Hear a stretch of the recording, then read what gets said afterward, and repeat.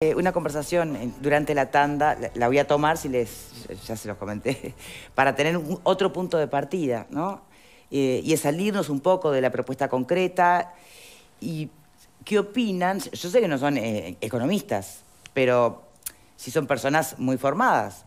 Entonces, ¿realmente existe la solución a esta situación? Considerando Uruguay, país tomador de precios como es, todo lo que se haga va a seguir siendo un parche o se puede esbozar algo más estructural y definitivo? No, yo creo que no se puede, una resolución definitiva no hay. Está claro que tendría que terminar la guerra y recuperarse el mundo de la crisis que generó la pandemia y eso no va a pasar ahora ni va a pasar de un día para el otro. Yo creo que sí, este, estas propuestas o lo que termine resolviendo el gobierno van a ser parches para ir enfrentando el momento y esperando cómo evoluciona para nuevos parches, para, o sea, creo que eso va a ser. Eh, ¿Lo haría distinto otro gobierno de turno? Sí, claro que sí.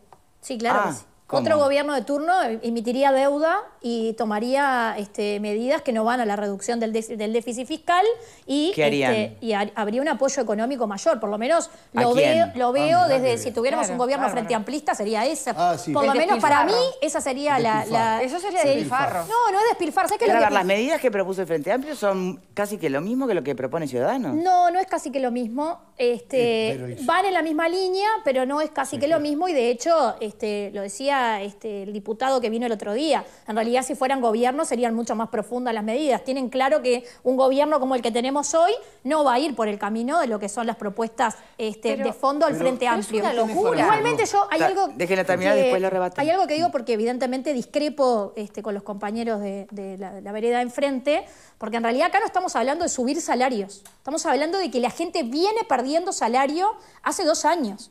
Lo que estamos hablando es de empatar, no es aumento de salario, como decía Marta, porque si aumentan los precios y aumentan los salarios de nunca acabar. No, es ajustar. La gente está perdiendo salario hace dos años. estamos planteando el empate. Y yo creo, empleo de la época y recuperando empleo también, que no está mal. Obviamente todo el mundo quiere recuperar empleo. Nadie está en contra de la recuperación de empleo. Pero la realidad es que si los salarios no ajustan, el parche nunca va a ser efectivo no es solo con los precios, es con el ajuste del salario. a ver, en esta época seguimos teniendo jubilados y pensionistas que cobran por debajo de los 15 mil pesos. Seguimos teniendo este, personas que cobran el salario mínimo nacional. O sea, está claro, está claro que ante una crisis son los más perjudicados. Estamos en tremenda crisis. Estamos en tremenda crisis. El tema es que la realidad es que hoy hay que invertir en que la gente no la pase mal, en que la gente no pase hambre, porque hoy no están poniendo El punto es, para ti, el gobierno tiene que emitir deuda. Sí. Y ahí consigue los no tiene que emitir deuda. a ver acá, a ver de este lado. Hoy no tiene que emitir deuda, tiene ahorro. No, no debe emitir deuda. No debe emitir deuda. tiene ahorro. Pero fija, pero te vuelvo a plantear lo mismo. Esperen, tiene ahorro porque ahorró. Si tiene ahorro, porque ahorró. Pero el Frente Amplio proponía que no se ahorrara. Hoy uno puede cuestionar porque ahorró, ya lo ahorró. Pero o sea, pero no puede salir a tirarlo. de lo que ya pasó hoy no tiene sentido. El gobierno ahorró. El tema es hoy tiene a No, pero sabes, eh, el único sentido es porque mañana te pasa otra cosa y, volvemos a lo mismo. ¿Hasta cuándo te vas a endeudar? No tirar plata alegremente. No, no es, no es tirar, plata. Que la gente coma no es tirar plata, por favor. Bueno, a ver. Es tirar plata. Eh, vale, dejaste a esta vereda un ratito porque es lo que corresponde. Si vos salís a dar alegremente, estás tirando plata en el sentido de que yo entiendo que se perdió salario real, pero no se perdió salario real por un capricho del gobierno, se perdió salario real porque tuvimos dos años de pandemia y las empresas privadas, que no son eh, organizaciones filantrópicas, tuvieron que sostener una situación. Entonces, vos y no los que ganaron más que nunca que aportaron. Pará, déjame. Entonces vos no le podés banca en el 2015? No le podés, pero no le podés, no le podés pedir a los privados que invirtieron en una empresa que, que agarre, sí, señores, Vamos a recuperar salario real, demos salario, demos Pero sí le podés pedir a la gente ¿Sabés Valeria, lo que pasa? Pero déjame terminar. terminar. ¿Sabés cuál es el riesgo que corres? Vos acorralás al capital y el tipo te baja la cortina y te quedas con un montón de gente desempleada. o se te fue por otro lado. O sea, tenés que ser muy cauto con las medidas. Vos agarrás y decís, está, fantástico, damos más jubilaciones. Ahora, yo digo, ¿no? Ese, ese decreto de Tabaré Vázquez que extendió pensiones a familiares, se tendría que derogar, porque ahí estás tirando, eso es tirar plata. Entonces, tenés que ser conservador, es un país pobre, no podés salir a endeudarte porque después tenés que pagarlo. Entonces tenés que ser cauto con la medida que tomás. Y no podés acorralar a los capitalistas porque se te van y te quedas con medio país desempleado. Estás bastante atado de herramientas. El tema del endeudamiento, que yo creo que es un recurso, como, como decís tú, Valeria, pero es un recurso que ya está agotado. Estamos en el 68% en relación endeudamiento PBI. Cuando llegas o superas el 70%, ya te baja tu calificación y ahí todos los préstamos son mucho más difíciles de renovar y el país empieza a perder su, todo, el, este, el, aval crediticio y la, y la credibilidad que tiene. Entonces, estamos hasta ahí, estamos en el límite del endeudamiento respecto del PBI. Por eso es que no podemos, el gobierno está bastante atado con el tema del endeudamiento, no puede seguir por ese camino. Bien, pero ¿tiene o no tiene ahorros? Eh, el, gobierno tiene, el gobierno tiene ahorros, pero tampoco tenés, este, digo... Un colchón para tirar. Un colchón para tirar plata para arriba. O sea, lo que, lo que podés hacer es aprovechar que hiciste bien las cosas en estos dos años para hacer algunos ajustes, para acomodar algunas piezas, para darle un apoyo y una mano a la gente que está más sumergida. Esas cosas sí se pueden hacer, no solo que se pueden hacer, se deben hacer, que tome nota este, doña Susana Arbeleche, esas cosas se deben hacer, pero con la misma prolijidad que venimos desde el primero de marzo de 2020, porque si no nos vamos al diablo. Eh, recuerden que acá este, un gurí nacía en 2005 con 4.500 dólares de deuda externa bajo sus este, detrás de sus espaldas. Hoy nace con 18.000 dólares de deuda externa cualquier niño que nace en el Uruguay. No se puede seguir con la herramienta del endeudamiento. cuidado con la, con la maquinita de emitir, pues esas cosas ya sabemos. Y ojo también con los acuerdos ficticios de precios, este, que es una herramienta que, bueno, alguno probó en el pasado y tuvo malos y tuvo muy malos resultados. Si quieren volver a probarlo, este, yo aplaudo las intenciones, pero me parece que va, a salir muy mal la experiencia. Bien, vamos a ir cerrando este tema. Me gustaría la mirada de Pepe, que es por general el, más eh, moderado siempre. A ver. Es la economía estúpido. Estúpido. Decía la frase Gracias. Aquella del, asesor de Bill Clinton. No, se lo tome personal lo de estúpido nadie. En realidad esa frase, la puso un asesor de Bill Clinton de la campaña del año 2002 eh, para recordarle a Clinton, que estaba compitiendo con Bush y que era imbatible en ese momento, que la economía tenía este, un, papel absolutamente relevante en la, en la campaña. Y esa es la economía estúpido, quedó después como frase... ¿Hoy cuál sería? ¿Es la guerra en Ucrania, estúpido? Puede ser, la pandemia? O, es, el mundo estúpido. Este, pero más allá de, la frase y de la anécdota, en realidad insisto, somos tomadores de precio, es un país importador de petróleo y gas, todo lo que nos, llega, nos está llegando producto de lo que está aconteciendo a nivel mundial. Les recuerdo otra vez el dato de la inflación en una de las principales potencias económicas del mundo, que tiene además la máquina que imprime dólares, ¿no? Entre otras cosas, en Estados Unidos de hecho, y, ahora eh, le respondo a mi querido amigo Rodríguez Pupo, eh, emitir moneda lo único que genera es inflación. O sea, por lo tanto, no es lo más aconsejable. No, no es lo que, por favor. No, no, no, ya sé, pero no es lo más aconsejable. Ahora, yo no cerraría las puertas a ningún tipo de elemento como puede ser desde la emisión de deuda pública, y está muy bien lo que vos decías con respecto a los porcentajes, pero no sabemos con qué panoramas nos vamos a encontrar de aquí a un, a un año, a medio año más. No sabemos qué es lo que va a pasar. A nivel mundial, con lo que está repercutiendo esta, esta situación, hoy tenemos este, una, una China que está este, muy detenida en su inercia que la venía llevando como una de las potencias también a nivel económico y sin disparar ni una sola bala, digamos que tenía invadido a cerca de 180 países, porque somos más de 180 países que estamos directamente relacionados a la economía china como principal comprador de nuestros, de nuestros productos.